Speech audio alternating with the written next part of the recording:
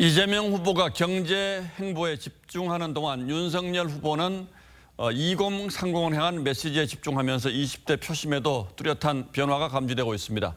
최대 관심사로 부상하고 있는 야권 후보 단일화에서는 윤석열, 안철수 두 후보가 각축을 벌이고 있습니다. 박경준 기자가 오늘 나온 여론조사 정리했습니다. 지난 8일부터 10일까지 사흘간 실시된 여론조사에서 이재명 후보 35.3%, 윤석열 후보 38%, 안철수 후보는 11%였습니다. 2주 전보다 이 후보는 7.1%포인트 내렸고 윤 후보와 안 후보는 각각 3.1%포인트, 6%포인트 올랐습니다.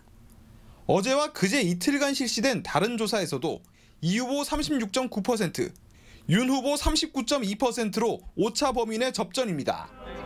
두 개 조사 모두 윤 후보의 20대 지지율은 4.3%포인트, 9.6%포인트 올랐습니다. 이 후보는 한 곳은 7.9%포인트 하락, 한 곳은 보합세입니다. 윤 후보의 20대 지지율이 회복되면서 다시 양강 구도가 형성되는 상황입니다.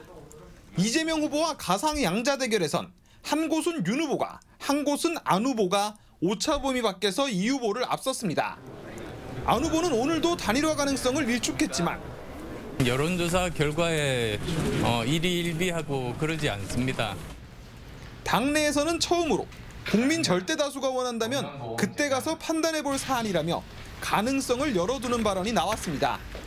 오늘 발표된 두 조사 모두 민주당 지지층에서 안 후보에 대한 지지세가 강해 향후 단일화 국면이 펼쳐진다면 역선택 방지 조항이 최대 쟁점이 될 전망입니다.